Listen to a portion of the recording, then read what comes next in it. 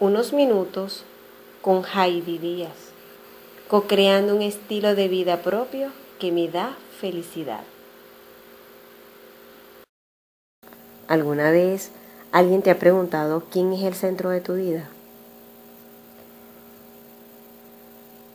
En una dinámica que se hizo en un taller que asistí,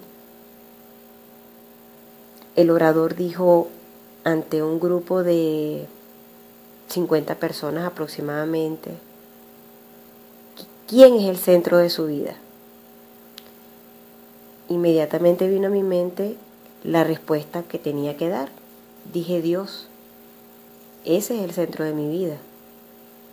Pero inmediatamente empecé a escuchar a las personas que estaban detrás de mí decir mi familia, mis hijos, el dinero y además de decirlo, a justificarlo. Y yo dije, bueno, si, si son importantes, pero por encima de todo, siempre en mi vida ha estado Dios. Es mi percepción. Y el orador dibuja en el pizarrón una carreta y le dijo a una de las personas, ¿usted dijo que quién era importante en su vida? Mi familia. Entonces la puso en el centro de la carreta, de la rueda de la carreta. Y dice, ¿y usted qué dijo? Entonces empezó a, a colocar en el pizarrón cada uno de las, de las personas, del dinero, de los aspectos importantes en la vida de esas personas. ¿Cuál era su centro? Y yo no me atrevía a decir Dios. No sé qué me pasó en ese momento, me paralicé, sentí temor porque no era un taller espiritual, era una actividad que estaba desligada, creía yo, de esa de esa estrategia que estaba utilizando esa persona. Y resulta que él le explica, si yo coloco en el centro de la rueda de mi carreta a la familia y por alguna circunstancia de la vida mi familia no llega a estar, ¿qué cree usted que pasaría con la rueda de mi carreta? Entonces las personas empezaron a decir, bueno, la, la rueda se, se daña, la carreta no sirve, ah, entonces borra la familia, coloca el dinero. Y si en algún momento de la vida no tengo el dinero, y así sucesivamente fue pasando uno a uno los aspectos que las personas dijeron en ese momento. Y el orador dice, yo coloco a Dios en el centro de la rueda. Y ese día, primero tuve doble aprendizaje. Yo sabía cuál era la respuesta porque ese es el centro de mi vida y siempre lo ha sido.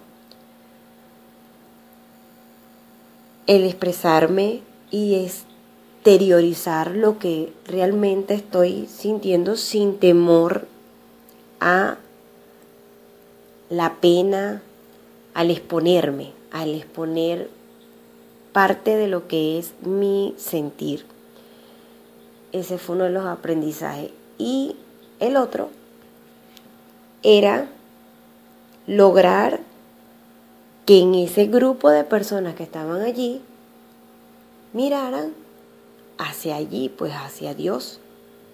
Llámese Dios o como lo llamen la persona que me está escuchando en este momento, ya sea universo,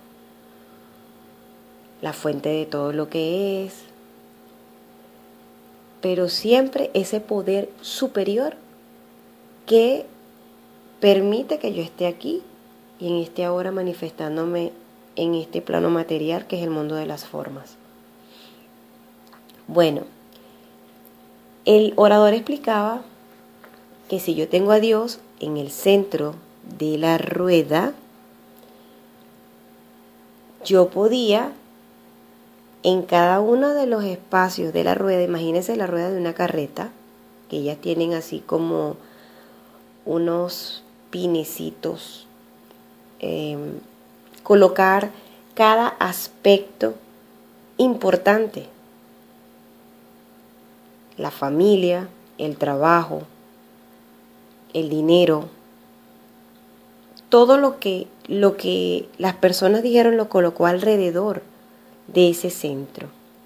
Y así compartía yo su percepción, era mi percepción en ese instante. Y entonces, hoy quiero compartírselos, porque a veces sabemos la respuesta de las cosas y por temor a exponernos no las decimos. Entonces hoy, ¿cuál es el centro de mi vida? ¿Cuál es el centro de la vida de Heidi Díaz? ¿Quién es el centro de su vida? Es Dios. Es Dios. Si yo tengo a Dios, lo tengo todo. Yo a veces digo, si yo tengo salud, todo lo tengo por añadidura. Bueno, si yo tengo a Dios en mi vida, todo lo que está alrededor de mí lo tengo por añadidura. Porque Dios, entre, sus aspectos, está que es amor, que es vida, que es omnipotente, que es omnipresente. Es la fuente que me sustenta, es inteligencia, es verdad. Entonces, si tengo a Dios en mi vida, en mi corazón, todo está en orden. A veces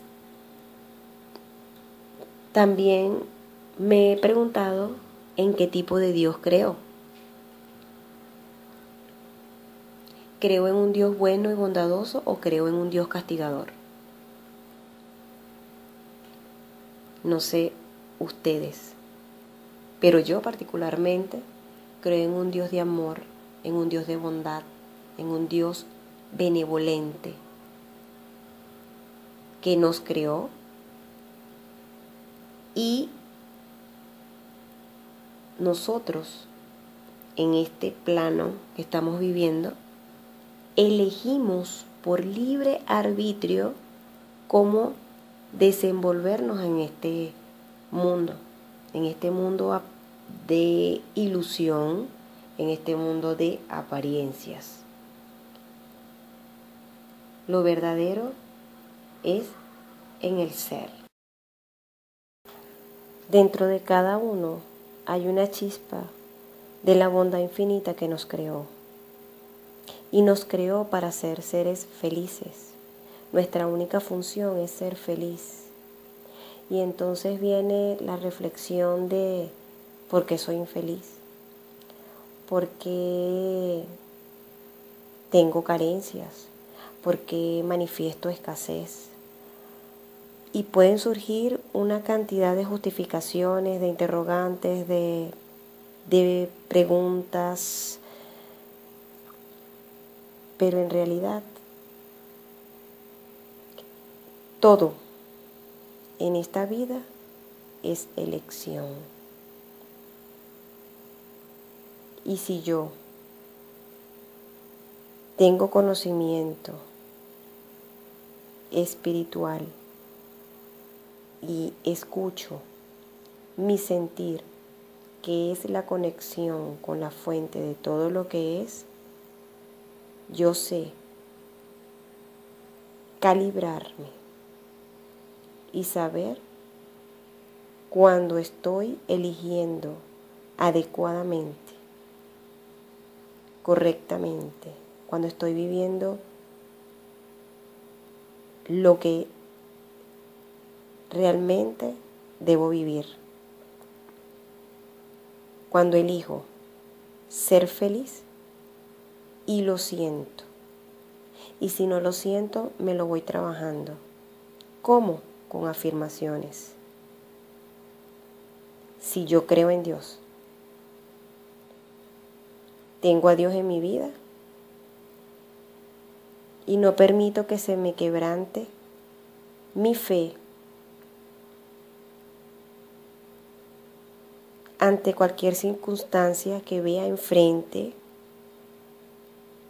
que he creado, porque somos co-creadores. Entonces, ante cualquier circunstancia que vea enfrente, que mueva mi vida,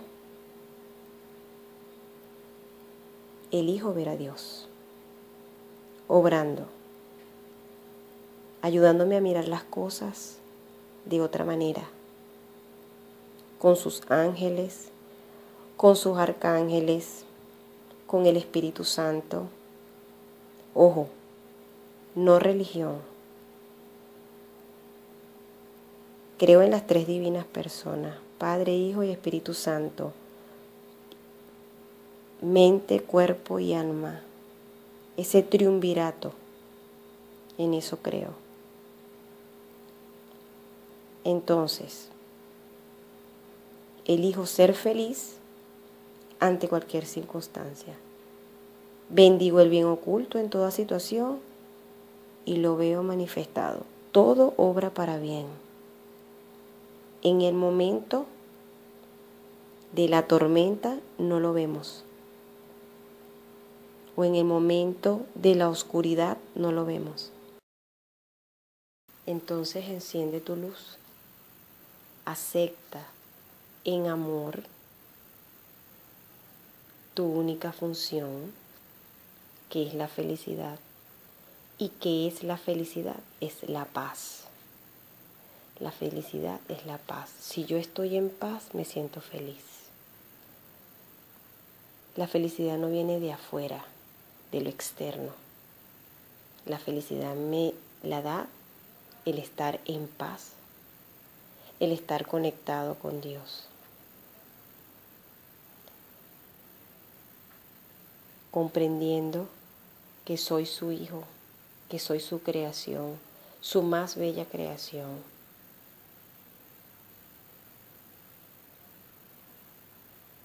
Si te gustó, dale like, comparte y suscríbete a este canal. Gracias por existir.